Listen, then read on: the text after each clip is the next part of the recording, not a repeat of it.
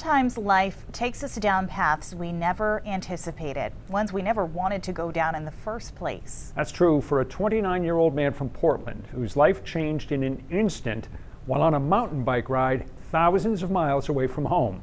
As 207's Beth McEvoy found, it doesn't really matter the road life leads us down, it's how we navigate our way that makes the difference. Are you gonna pour salt? Yeah.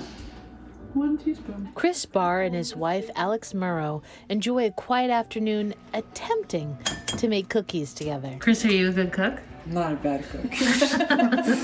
Simple moments like these are ones the couple has a new appreciation for, forged by hard experiences. We met at a bike shop when I was 17 years old and he was 18.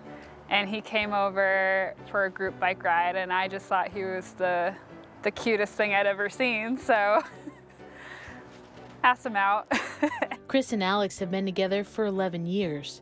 They got married in 2017. He's a super athlete and a, was a super competitor in cycling. Whether road cycling or mountain biking, being on two wheels has always made Chris happy. In college, he raced for UNH. Raced every weekend and did a group ride every night, and it was so much a fabric of like his social life and of our life together. When his engineering firm took him to Idaho in the fall of 2019, well, I knew that like the area around Boise was beautiful, so and there's a lot of great mountain biking trails out there. He extended his trip so he could hit some trails with another coworker. We got breakfast at a cafe downtown Boise and then walked over to pick up our rental mountain bikes. And the last thing I remember is walking out of that bike shop.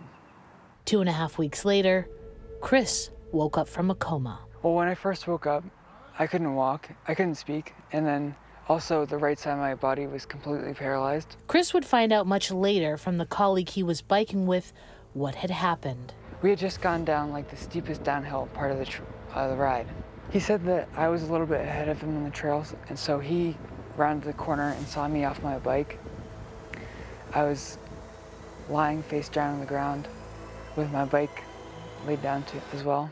My helmet was still on me, but it was damaged as it should have been. So like it kind of like collapsed in. Chris was unconscious, his face covered in blood. He went to call 911 on his phone, but he didn't have service. So he went through my pockets and found my phone and called, and luckily I had service. He basically saved my life. It took emergency crews on ATVs an hour to reach them. The ATVs took Chris to a helicopter that transported him to the hospital. I think for a lot of people in life, there's a phone call that kind of changes everything, or at least changes your perspective on everything. Um, and that was that was the phone call for me. Alex and Chris's family rushed to Boise to be by his side, and then they waited. I had this perception that, like, when Chris woke up, like, Chris would just wake up and he'd be like, hey, like, how's it going? I missed you. what is this crazy mess? And, like, the waking up doesn't happen in that way. I woke up and obviously Alex was there, and I just didn't know where I was, like, didn't know dates, didn't know times, because it's just so foggy. The waking up was in uh, periods. For some reason, a big memory that I have is like looking at the analog clock that they had in the room and not being able to read it. Like, it didn't make any sense to me.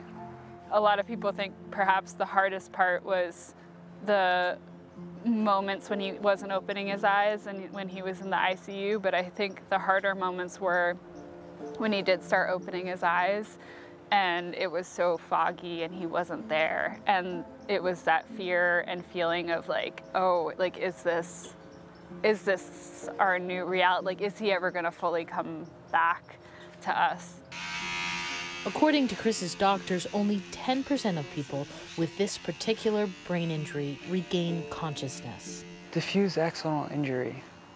So that basically means like a whiplash of your brain and kind of like tearing.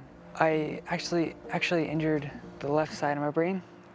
So that's that's why the right side of my body was paralyzed. in life, we're all like people that are searching for answers to the questions that we have, both around what's happening in our lives and what's happening like in the lives of those around us, especially when it's the life of someone that you love and deeply care for. Um, I wanted answers so bad, and I like no one would give them to me. Chris was transferred to Spaulding Rehabilitation Hospital in Boston, and there he started to really get to work, hoping to provide the answers to the questions his family had been asking. No, but I like where your head's at.